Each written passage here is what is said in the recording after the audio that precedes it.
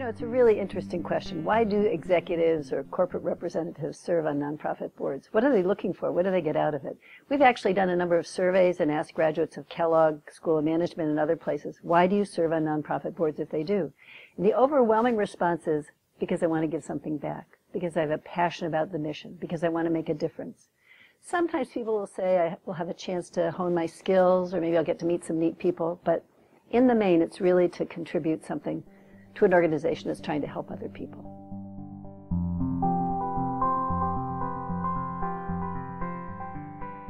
Most nonprofits are small organizations, and yet any organization, to be exceptional, needs expertise in strategic planning and marketing and financial forecasting and personnel management. Nonprofits are just too small to hire people with that expertise or to buy it through consultants.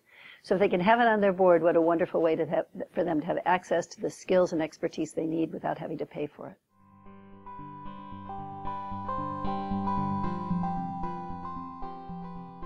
Great board member is someone who first and foremost will be loyal to the organization, will put the organization's interests ahead of their own. This is not about your own self-interest. This is about the organization and its mission. A great board member is someone who will be a team player, but will think independently, so won't be swayed just because someone they care about wants them to do one thing or another, but will really think through the facts and decide what will help the organization the most. And then my, my thought is, most important, a great board member is someone who will ask really hard questions and state the hard truths. So if they see something going on that they're not sure about or they think is maybe not good, they'll mention it, they'll point it out, they'll ask questions about it.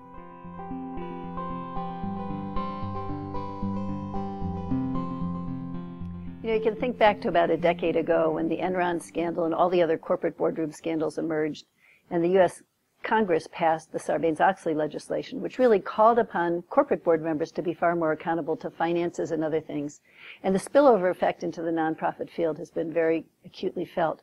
So nonprofit boards have those same demands on them to be accountable, to select the auditor, to receive the audit, to meet an executive session, to discuss the finances. A number of things that for years nonprofit boards probably didn't pay too much attention to. And then more recently, with the economic turndown, as nonprofits have greater demands for their services and fewer resources to actually meet that demand, nonprofit board members have found themselves needing to understand where the money going, where can we make cuts, and importantly, how can we bring in new resources given the situation we're in.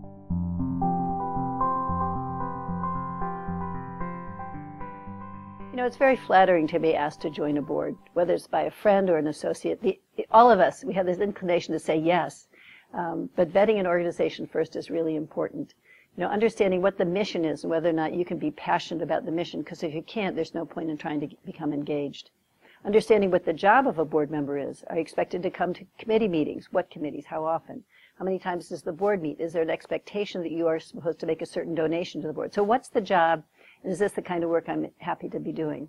Um, it's also important to understand who the other people on the board, whether or not they're the kind of people you'd want to work with, and finally, understand how important it is to ask those hard questions and speak the hard truths.